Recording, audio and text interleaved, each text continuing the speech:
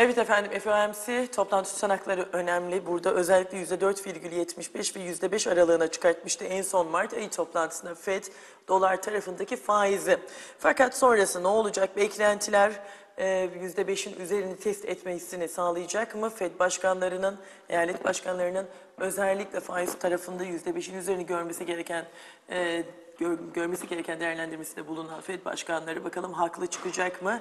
Öncelikle şöyle küresel bir detay yorumu alacağız. ALB Yatırım Satış ve Pazarlama Müdürü Meryem Gürsoy'dan. Meryem Hanım hoş geldiniz. Hoş bulduk, iyi yayınlar. Teşekkür ediyorum. Hemen size soruyorum. Hem enflasyon verisi, e, toplantı tutanakları, beklentiler neler olacak? Önümüzdeki FED toplantısı ve doların gücü buradan tabii ki hem tahvil, dolar ve altın tarafındaki oynaklıkta dikkat çeken noktalar olacak mı? Volatilite artacak mı? Şimdi e, bugün çok önemli bir veriyi karşıladık ABD kanadında. E, beklentilerin altında gelen bir enflasyon verisi vardı. E, ama tabii çekirdek tarafa baktığımız zaman geçtiğimiz e, veri 5.5 iken bu veri 5.6 geldi. Dolayısıyla şimdi zaten Fed'in nasıl hareket edeceği yani e, enflasyonu mu dikkate alacak yoksa bankacılık krizi mi bir taraftan da resesyon endişeleri yine piyasada hakim olmaya başladı. Dolayısıyla hangi yönde hareket edeceği e, bu noktada ciddi anlamda e, soru işareti. E, bu akşam senin de bahsettiğin gibi FOMC tutanakları, toplantı tutanaklarını izleyeceğiz.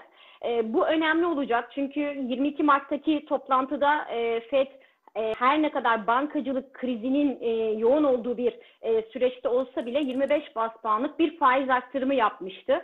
E, ama bu, bu tutanaklarda üyelerin aslında hangi tarafın daha önemsediğini, burada işte bankacılık krizi mi daha ön planda yoksa gerçekten enflasyona odaklı mı hareket ediyorlar ya da diğer taraftan resesyon endişeleri de hakim mi?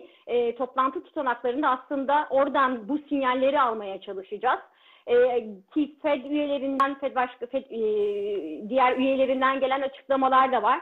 Burada açıkçası piyasa çok kararsız. E, çünkü gerçekten e, güvercin bir yaklaşımı yoksa şahin bir tutumla mı karşı karşıya kalacağız e, sorusu gündemde. Ama şunu biliyoruz, Fed Başkanı'nın e, 2023 son çeyreğine kadar bir faiz indirimi yapmayacağı yönünde ki açıklamaları da vardı ama e, bu gelen veriden sonra da ki sadece veriye göre hareket etmeyeceğini de düşünüyorum bu noktada. E, ne yönde hareket edilecek e, bunu takip ediyor olacağız. E, bugünkü veriden sonra altın tarafı altından bahsettiniz. E, yukarı yönlü bir hareketlenme oldu. Ondan sonrasında hafif bir geri çekilmeyle karşı karşıya kaldık. E, burada tabii altında 2000 dolar seviyesi var. Önemli bir destek seviyesi. Yukarıda da 2070 takip ettiğimiz direnç seviyesi.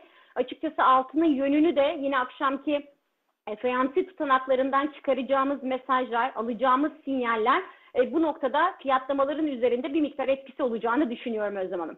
Peki bu fiyatlar üzerindeki etkisi e, yüksek olma ihtimaliyle birlikte portföylerde nasıl bir değişim ve şekillenme öngörünüz var? Çünkü artık konjonktürde belirsizlikler biraz daha kendini göstermeye başladı. Tehditler var tabii bir diğer tarafta gıda, enerji hala tehditlerini e, ve tehdit şiddetini e, azaltmadı. Beklentileriniz bu yönde nasıl? Yani bir e, orta düzey risk algısı olan yatırımcının portföyünde nasıl bir e, değişim olmalı şu an için? Yani açıkçası çok değişimden e, ziyade yorum yapmayı çok doğru bulmuyorum ama Tabii. şunu söyleyebilirim. E, Tabii şöyle biz bu zaten noktada- burada e, hemen biz de belirtelim Meryem Hanım. Biz burada e, daha çok sizin kendi portföylerinizde oluşturduğunuz, öngördüğünüz değerlendirmelerinizi alıyoruz. Onu da sizin aracınıza söyleyelim. Buyurun söz sizde tekrar. Tamam güzel oldu bu. E, bu noktada Evet, sonuçta tabii. yanlış bir kendi anlatılmaya da ziyade olmayalım. E, şimdi burada zaten hep aslında şunu konuşmuştuk. 2022 yılı e, borsanın şaha kalktığı bir yıldı. E, çünkü çok alternatifsiz de bir yıldı bu noktada. Çünkü e, yatırımcının parasını enflasyon karşısında koruyabileceği aslında tek getiri aracı hisse senetleriydi. Ama 2023 yılı için bunu çok konuşamadık. Niçin konuşamadık? Çünkü e, mevduat faizlerinin yükselmesi e, dolayısıyla borsa dışında yani hisse senetleri dışında yeni alternatifleri de e, devreye soktu. Aslında altın da bu noktada ki e, genel olarak piyasalarda genel algıda işte bu sene altın yılı olacak e, şeklinde bir algı da var piyasada. E, Fed'in e, bu noktada vereceği sinyaller ya da önümüzdeki 2023 yılında alabileceğimiz e, en ufacık bir mesaj da e, bu noktada altın yatırımcısı için önemli olabilir. Bunu takip etmek e, önemli. Ama yine hisse senetleri için konuşacağım. İçeride bizi aslında Borsa İstanbul'a bu noktada biraz değinmek istiyorum. Çünkü baktığımız zaman psikolojik bir direnç seviyemiz vardı 5000 seviyesi. Şu an onun üzerinde fiyatlanıyoruz. Bu aslında çok kıymetli. Evet işlem hacmi düşük ama e, bilanço dönemine de giriyoruz ki bilanço döneminde hisse bazlı, sektör bazlı e, hareketliliklerin olduğu ve bunun da desteğiyle endeksin daha da yukarı taşındığını biliyoruz. Dolayısıyla açıkçası hani hisse senetleri de bu noktada yine yatırımcılar için aslında bir alternatif. Ama diğer taraftan e, Fed'in e, alacağı aksiyonlar e, şu an e, belki 1.25 bas daha faiz arttırımına gidebilir ama sonrasında yapacağı e, hareketlilik bir e, faiz arttırımlarını durduracak mı ya da bir faiz indirimi söz konusu olacak mı ki her ne kadar Powell'ın 2023 son çeyreğine kadar bir faiz indirimine gitmeyeceği yönde açıklaması olsa da e, sonuçta e, ortada bir bankacılık krizi var. Şu an bir miktar çözülmüş olsa da resesyon endişeleri var. E, yükselen bir çekirdek e, enflasyonu da var. Dolayısıyla altın yatırımcısı için FED tarafından gelecek açıklamalar bu noktada önemli olur Özlem Hanım. Da bahsedelim. Özellikle İngiltere tarafında da %10'un üzerinde bir enflasyon var. Yıl sonu beklentiler aşağı gelecek diyor. Euro e, tarafında yani Avrupa Merkez Bankası'nın açıklamalarında faiz kararları önemli. Hala bir diğer tarafta enflasyonla mücadele ve enerji tarafında, doğalgaz tarafında bu yıl değil ama önümüzdeki yıla ötelenen risk ve endişeler, belirsizlikler. Genel Avrupa'nın e, ticaret pazarımızda olduğunu düşünecek olursak hangi şirketlere bu noktada daha dikkat etmek gerekiyor? Yurt içinde Borsa İstanbul performansında ve Avrupa'dan gelecek e, yansımalar sizce ne olacak? Var mıdır tahminleriniz? Şimdi borsa tarafında e, dediğim gibi zaten bilanço döneminden dönemine gireceğinizden bahsetmiştim. Bu noktada hani e, şunu söyleyebilirim belki iyi beklediğimiz bilançolar yenilenebilir enerji tarafındaki bilançoları iyi bekliyoruz. Belki buna bir miktar e, otomotiv sektörünü de ekleyebiliriz. E, dolayısıyla bu tarafta hani e, orta vade olarak konuşalım en azından ya da uzun vadeli yatırımlarda e, bilançolarında oldukça etkisi olduğu için e, yenilenebilir enerji ki zaten artık e, enerji çağındayız. E, bunu da göz önünde bulundurmak gerekiyor. Bunu söyleyebilirim. Ama diğer taraftan enflasyonla mücadele kısmında şu da var. Yani e, OPEC'in biliyorsunuz ki sürpriz bir üretim kesintisi kararı oldu. Yani dolayısıyla burada arz sıkıntısının olabilme ihtimali e, ve bunun da bir miktar enflasyonu aslında tetikleme ihtimali de var. Yani şu anda biz e, evet e, her ne kadar ABD tarafında e, beklentinin altında bir enflasyon verisi alsak da çekirdek için konuşmuyorum ama diğer taraftan OPEC'in sürpriz kararı e, şu an aslında geri çekilme ilmesi gösteren enflasyon tablosunu e, bir miktar bozabilir. E, buna dikkat etmek gerektiğini düşünüyorum. Peki o zaman Borsa İstanbul performansı biraz daha detaylı bakalım. Hacim tarafı, e, değişen şirket halka arza olan satış tarafı yani Borsa İstanbul BIST 100 ve BIST 100 dışı hisselerde farklı yine ayrışmalar var. Detaylar neler? Bu hafta neler değişti Borsa İstanbul'daki beklentilerde sizden dinliyoruz. Ee, Şimdi endekse e, 5000 psikolojik direncimiz vardı. O seviyenin üzerine yerleştik. Ee, Söylediğimiz gibi işlem hacmi aslında e, düşük e, tabii geçtiğimiz dönemlere kıyasla ama sonuçta 5000 seviyesinin üzerinde tutunmaya çalışması da bence bizim için çok kıymetli. Bunu söyleyebilirim. E, yukarıda 5200-250 bandımız var. E, endeksin yukarı yönlü hareketliliğinin devamı noktasında bu bandın üzerine geçmesi önemli. Burada bankacılık endeksinin de e, ciddi anlamda bugün içinde e, en çok kazandıran sanırım şu an değişmediyse istatistiği e, ki bankacılık endeksinin endeksin genelinde yukarı yönlü hareketinde çok ciddi bir etkisi olduğunu zaten biliyoruz piyasalarda.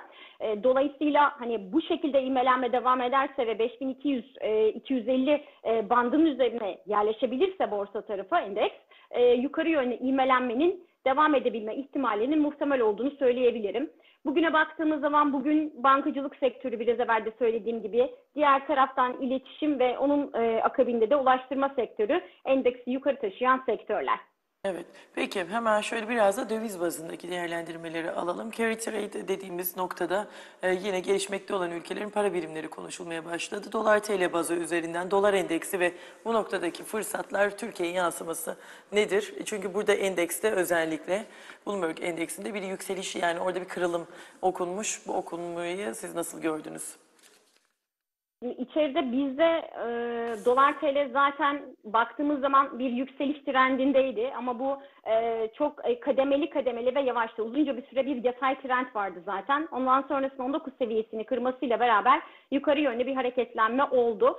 E, burada çok dolar endeksine e, bağlantılı da aslında e, hareket olduğunu e, söylemek bu noktada çok da doğru olmayabilir aslında. Bunu ifade edebilirim. Çünkü zaten e, yukarı yönlü ivmesi olan e, bir e, teknik anlamda bir e, hali vardı. E, şu anda da e, ki içinde bulunduğumuz süreci de göz önünde bulundurmak gerekiyor. Çünkü biz baktığımız zaman çok yakın zamanda bir e, deprem atlattık. Yani atlattık diyeyim e, hani çok da atlatmaya çalışıyoruz diyelim aslında. Yaralarımızı Doğru. sarmaya çalışıyoruz. E, diğer taraftan e, seçim sürecindeyiz. Seçimle Evet. ilgili e, tabii e, belirsizlikler de var. E, bu noktada siyasi taraftan gelecek haber akışları da aslında içeride bizim e, kurumuzda Dolar TL tarafında bu noktada e, önemli olacaktır diye düşünüyorum. Yani biz aslında e, kur tarafında kendi içeri e, kendi iç dinamiklerimizin de ön planda olduğu bir süreç içerisindeyiz. Peki biraz enerjiden bahsedecek olursak aslında enerji tarafında OPEC artı ülkelerin dışında Rusya ve Rusya'ya yapılan yaptırımlar, Rusya'nın hamleleri, e, son olarak Hollanda hükümeti Rusya'daki LNG ile ilgili almış olduğu kararlar enerji piyasasında oynaklık devam edecek gibi görünüyor. Hem e, başlık olarak hangi noktaları daha çok değinmemiz gerektiğini düşünüyorsunuz? Bir diğer tarafta Brent petrol ve ham petrol özelindeki fiyatlamalarda hangi teknik noktalar daha çok ön planda olacaktır sizce önümüzdeki çeyrek boyunca? Ee, Şimdi bu noktada e, OPEC'in sürpriz kararı aslında petrol fiyatlamaları üzerinde e, oldukça önemli oldu. E, çünkü e, hani çok da beklenen bir Evet. karar değildi üretim kesintisine gitmesi. E, tabii talebin aynı kaldığı noktada e, üretim kesintisi yani arz sıkıntısının devreye girmesi ya da bu e, algının e, beklentinin piyasada oluşması petrol fiyatlarının yukarı yönlü fiyatlanması noktasında e, destekledi diyebiliriz. E, teknik seviyelerde baktığımız zaman e, aşağıda 87 e, dolar seviyesini verebilirim destek olarak. Yukarıda da e, 83 seviyesini verebilirim destek olarak. Yukarıda da 87 seviyesi var e, direnç noktası. Ama tabii önümüzdeki günlerde ülkelerin birbirlerine yapacağı yaptırımlar, e, o noktada e, olacak gelişmeler petrol fiyatları açısından önemli olur, tetikleyici olur. Ama şu an önümüzdeki gündemdeki en önemli konumuz OPEC'in sürpriz e, üretim kesintisi kararı oldu. Peki altın tarafı ile ilgili beklentiler nelerdir? Özellikle kıymetli metallerde e, yurt içinde sizce yatırım biraz daha artacak mı? Portföylerde yerini alacak mı? Ee, Şimdi altın hep zaten güvenli liman algısı var e, Evet. altın tarafında. E, bu genel artık piyasanın kabul gördüğü bir psikolojik etki. E, burada tabii hem e, ons altın hem de gram e, tarafından konuşmak gerekiyor. Çünkü zaten onsta bahsettiğim gibi 2000 dolar seviyesi bir önemli bir destek seviyesi. E, bu seviyenin üzerinde fiyatlanıyor ki yukarıda 2070 seviyesi var direnç seviyesi olarak. Evet. Ama gram altına baktığımız zaman şimdi gram yatırımcısının tabii e, iki kollu bakması gerekiyor. Çünkü e, gram fiyatlaması hem TL'nin e, hareketi hem de onsun hareketlenmesiyle e, fiyatlanan bir ürün olduğu için çift bacaklı bir ürün. Dolayısıyla gram yatırımcısının yatırımlarına dikkat ederken aslında hem e, uluslararası piyasada onsun fiyatına bu noktada e, dikkat etmesi gerekiyor ki içeride de dolar TL tarafı. E, dolar TL için zaten aslında yorumumuzu yaptık. Yani tatlı bir yükseliş ivmesinde olduğunu görüyoruz fiyatlamalar üzerinde de. E, ama burada onsun aslında yönü de gram altın için önemli olacak. Çünkü onsun da değer kazanması bu noktada gram yatırımcısının e, yüzünü bir miktar daha güldürecektir. Değil mi? Peki efendim çok teşekkür ediyorum ben. Bir diğer tarafta da son bir sorum var. Bir, birkaç dakikalık sürem olduğu için. E, Euro dolar paritesi 1.09, 1.10. Burayı kırma ihtimali güçlü mü? Kırmasıyla birlikte eski 1.20'li seviyeler güçlenecek mi değil mi sizce? Ee, Şimdi bugünkü enflasyon verisinden sonra ABD tarafında e, Euro dolarda zaten bir hareketlenme Evet. gördük. E, ama bu noktada hani 1.20 seviyelerine doğru bir hareketlenme olur mu dersek aslında yine e, konunun özü FED tarafında olacak. Çünkü o taraftaki e, kararlar faiz e, arttırımından sonra ya da faiz indirimine gidilecek mi ya da faiz arttırımları durdurulacak mı yönündeki kararlar aslında bu noktada euro dolar paritesi içinde oldukça önemli. Ee, ama hani genel olarak artık e, güçlü dolar algısı da piyasadan kırılıyor gibi. Yani böyle bir izlenim de var. Dolayısıyla bu izlenimle euro dolar bunun desteğiyle yukarı yönlü hareketlenebilir ama 1.20 seviyeleri konuşmak için şu an çok erken olduğunu düşünüyorum. Peki bu e, daha güçlü yani hard currency dediğimiz döviz birimleri içerisinde sizce en güçlü dolara karşı yükselişi e, hangi para birimi gerçekleştirebilir? Gerçekleştirme ihtimali var. Valla bu noktada e, altının ve gümüşün e, hareketi aslında tepkisi çok daha hızlı oluyor. Gümüş biraz daha altına göre daha agresif hareket edebiliyor. E, dolayısıyla da e, açıkçası hani güçsüz dolar algısı piyasada hakim olursa ve gelen zaten e, para politikaları bu yönde devam etmeye başlarsa e, hızlı tepkileri ki 2023 yılı altın yılı beklentisi oldukça hakim piyasada. Dolayısıyla da açıkçası altın tarafında ve keza onunla eşdeğer e, gümüş tarafında hareketlilik olabilir. Çok teşekkür ediyorum Mer- Meryem Gürsoy'a. Ağzınıza sağlık aktarımlarınız için sağ olun. İyi yayınlar dilerim. Teşekkür ediyorum. Evet efendim, Aile Bey Yatırım Satış ve Pazarlama Müdürü Meryem Gürsoy bize eşlik